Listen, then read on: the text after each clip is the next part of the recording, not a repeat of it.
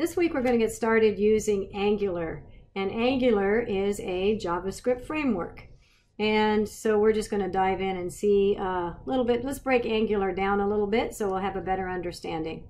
First of all, when we talk about Angular, I want us to get comfortable with this word components because Angular is made up of components. And so I tried to give you a visual here of what components are and how our application is going to be set up. So we're looking at the homepage of a website called TypeScript, and we're going to be using TypeScript also in our Angular project. So if you want to go look at the website, I, this is a great, hey, you should go look at the TypeScript website. But TypeScript, therefore, is a uh, also it's a, a, subset of JavaScript, but it's a beefed up version of TypeScript, so it's a lot more of a JavaScript, so it's a lot more powerful. So we'll be utilizing TypeScript in our application. That's a side note. But if we look at a web page, where before we always have been looking at a web page as an entire piece, now we're going to start looking at it and break it down kind of in sections, sort of like what we did when we create a footer tag. The footer tag is a snippet or a component of that web page.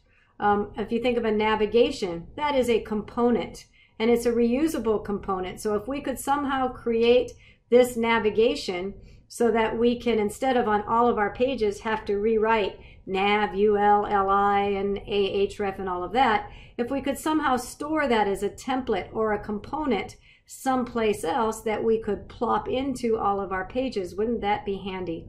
So that's in fact what we're going to be doing with Angular when we're talking about components. We're going to be breaking up our web pages into components and then utilizing those components to build our web page. For example, a component here might be this TypeScript menu. I mean, this, this entire navigation menu. Notice that these cards, if you will, are repetitive. And in fact, if you look up Bootstrap cards, they actually are in a section called components. So these are components that repeat themselves, but the data inside of those components change. And so that's what we're going to be looking at. So the anatomy of an Angular application is just that. An application is made up of components, reusable snippets or templates of code. And then there's services that run across all of the components, and we'll look at that a little bit later. But for right now, what I want us to get this idea of that we're breaking our web pages into components now, and we're going to see that in a little bit more in detail in code. So what makes up a component? So a component is made up of, first of all, a template. And the template is pretty straightforward. That's the HTML that you've been creating. So for example, like I just described, that whole nav section with the nav and the UL and, and the LI and your ahref, that could be a component. And I think you can see you have enough HTML experience at this point to kind of see that in your head as a uh, snippet of code that returns a single element, a single nav element with all of its children. So a component, therefore, is made up of a template, which is our HTML. Then includes things called bindings, and we'll see what this means very shortly. But if you remember from this slide backwards, I said these components are all the same, if you will, but the only thing that's changing is the data that's inside of it. So each of these thing, the data inside is the same, but you can probably think in your head that the HTML to create all of that is probably the same HTML tags. So that is called binding. So binding data, different pieces of data to our templates. And directives, we'll see very soon, is a fancy word for, um, back to this example, if you can think of um, this component. So in Bootstrap, this is called a card.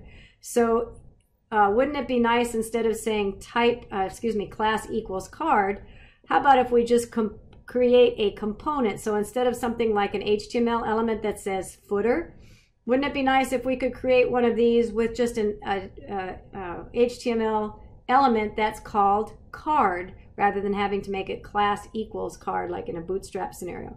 So a directive therefore is a user defined HTML element. So instead of typing the word footer, we might type something that's more meaningful like navigation bar. I mean, nav is nav, and, and that's probably what you would use more of, but you'll, you'll see very soon. So a directive is a user-defined uh, HTML element.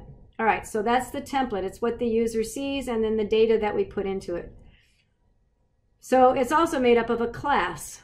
And a class, if you're familiar with object-oriented programming, it's the same thing. A class for this template, for this uh, block of code, this single task block of code, uh, is made up of properties. Like, for example, if we were thinking of a button, can you see a button as a single component? That button might have a property, and the property would be what displays on the button, like click here or um, submit, for example. A class is also made up of methods, which is something like uh, on the event click, go do something, and you could set up some statements for that button to, you know, fire off some things to do. So every template, therefore, has an associated class, and that class has properties, like what do I, what's the title on the button, and methods, click events, those kinds of things. Um, this is created, we'll be using TypeScript, and data and logic. So we just talked about that. So the third piece of a component is the metadata. And all metadata is, is some extra information that we're going to give to Angular to explain that this template is associated with this class and that this whole piece is what we're going to define as the component. So this is information for Angular to define and help us put these this component together with the template and the class and make it a component and that kind of thing. So we'll see how that works. And we define it with something that's called a decorator.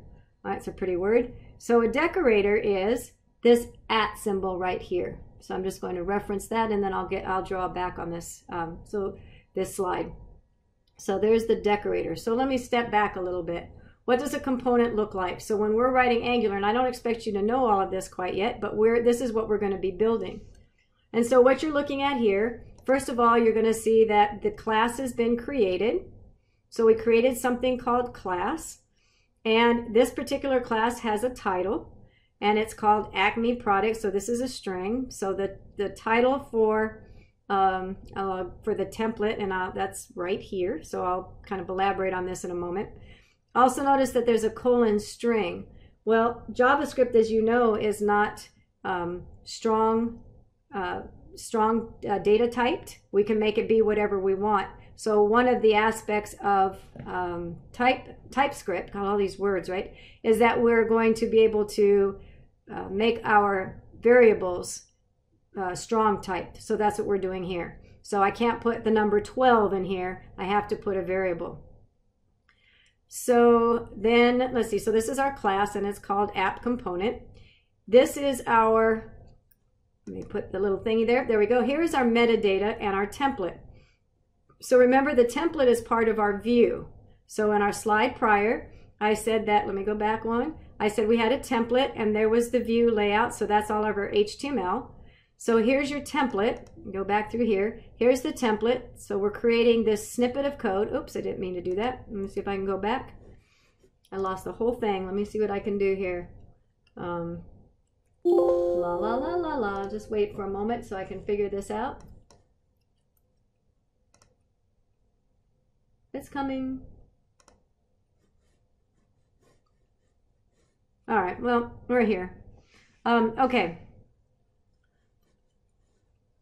Let's just switch this over. There we go. Okay. So Sorry about that. That probably was a little distracting. So we're on a class and then we were talking about our template. And if you look at um, our page title here, remember we talked about data binding. The page title is what's displaying here in this template. So in our template, we put these curly braces and we put the name of our property, which is page title, and that data is going to go here in our H1 tag. And we've created this block, this component that's a div. And in the div is an H1 and this word that says first, my first component. Well, I appreciate this isn't as um, reusable perhaps as the nav is, but at least it's giving us some, some uh, concept.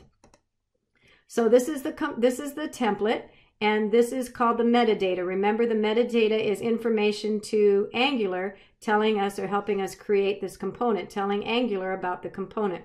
And what we're doing here is we're using what's called a decorator and we're saying this particular function is an object and it's what we're going to be doing. We're creating a component.